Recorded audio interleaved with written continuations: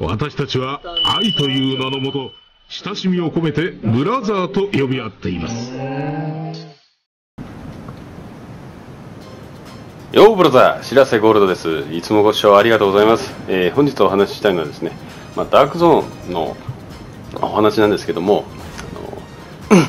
この今まで使ってたこのクラウンショップ、クラウンショップとか、あのまあ、ダークゾーンの横にあるショップとか、まあ、そこら辺に売ってるものって、普通のあのクレジットで買えたじゃないですか。それが、このなんか右のいろんな部品みたいなマークの書いてある、まあ、ダークゾーンリソースっていうもので、まあ、交換、まあ、買うことができるような仕様になりましたなのでダークゾーンの横にあるこの、まあ、メインエンストランスっていうのがねそこにあるものは このダークゾーンリソースで手に入れることができるようになります。なのでまあ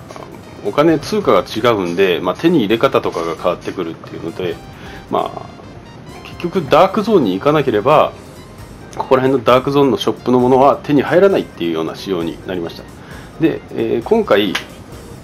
ダークゾーンサウスの、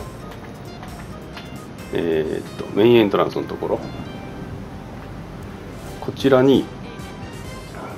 この Y バンウェアの、まあ赤盛赤3つ盛りの、えーっと新タレントビジランス。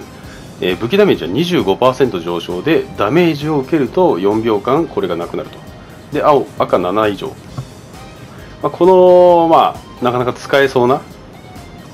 あ、タレントのついてる。さらには赤盛りで、まあ、オフェンス盛りなので、まあ、ライフルとかスナイパーとかそういうビルドとかにはもうそのまんま使っても面白いんじゃないかなっていうようなのが今回見せ売りで言ってます、まあ、今回の、まあ、一押しはまあこんな形。まあついでにアサルトで揃っなんかもっと揃ってなければこういうのも買ってもいいと思うんですけどとりあえず Y バンウェア。今回これが一押しです。でキャッシュそのリソースに関しては70リソース。でこちらの入手の仕方なんですけども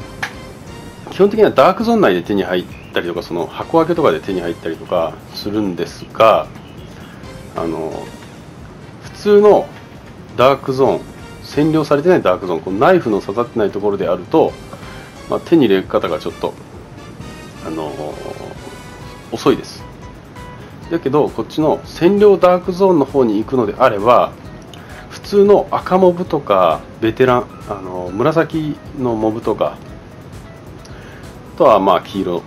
あとはあるいはネームド。でネームドの場合とねあの赤モブの場合って結構その落とすリソースの数が異なります。で赤モブは、え1つ。ベテランと黄色が2つ。で最後はあのネームドは3つだったかな。僕がさっき確かめてきました、はい、なのであの普通の戦ってるモブから落とすのはこっちの普通のダークゾーンじゃなくて占領のダークゾーンの方になります。なのでもしこのリソースを集めたいのであればあの普通にダークゾーンの横にあるエントランスから物を買いたいっていうことであればこちらの占領ダークゾーンの方もあれば、まあ、12時間ぐらいあればもう100200ぐらいのあのリソースは手に入ることができます。ただ回るといっても普通に、あのー今回占領ダークゾーンにもサプライドロップが落ちてきたりとか、普通に回ってると新しい武器とかそういうのも手に入ったりしますんで普通に占領ダークゾーンの周回をしながら、まあ、リソースを集めるっていう点では占領ダークゾーンが一番優秀なんじゃないかなっていう形になります、まあ、それで普通に遊んでれば1日ね数時間とか遊べばリソースなんかもいくらでも手に入っちゃいますんで特に気にしないであの手に入れることができると思います。ちょっとあのあの動画生配信中にダークゾーンのこのクレジットっていう風な言い方であのリソースなんですね。それを質問とかあったんでちょっと僕なり調べてあの動画にしてみました。はい。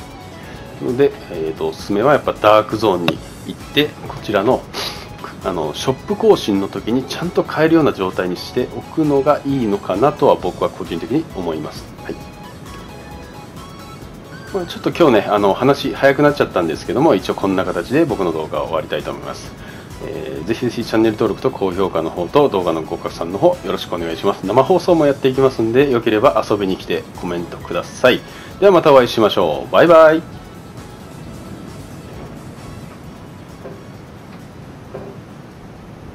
どうもお疲れ様でした。ここで私からのお願いです。ではチャンネル登録ボタンをポチッと押していただいた後にベルマークの方もポチッと押してくださいこれでまた私とお会いできますねありがとうブラザー